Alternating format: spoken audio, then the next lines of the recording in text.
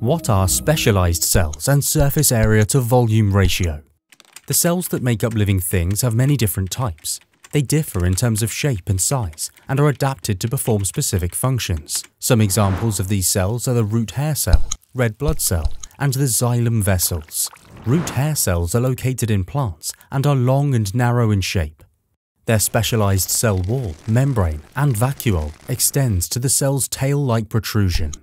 This tail-like protrusion helps to increase the cell surface area to volume ratio for efficient absorption of water and mineral salts from the soil.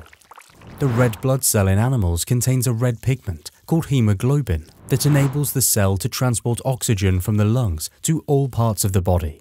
The cells have a circular biconcave shape, which means a narrower inner portion to help increase the cell surface area to volume ratio. Thus, the diffusion of oxygen from and into the cell will be faster.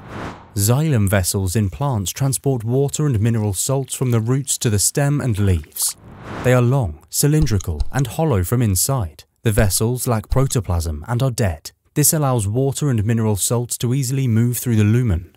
Lignin is deposited in three different formations, strengthening the walls and preventing the vessel from collapsing. An entire network of xylem vessels is strong enough to mechanically support the plant. Now you may want to ask what surface area to volume ratio really is. The rate of movement of a substance across a cell membrane depends on how much the cell membrane is actually available.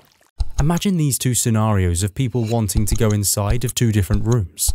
The room with a bigger door will fill out much faster, the greater the surface area of the cell membrane, the faster will be the rate of diffusion of a substance for a given concentration gradient.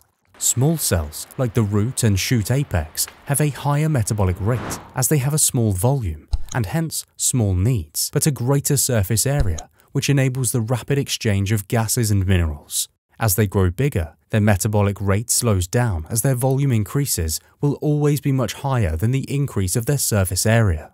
The neighbouring cells also develop and surround them, reducing the exposed cell membrane and in turn lowering their surface area to volume ratio further.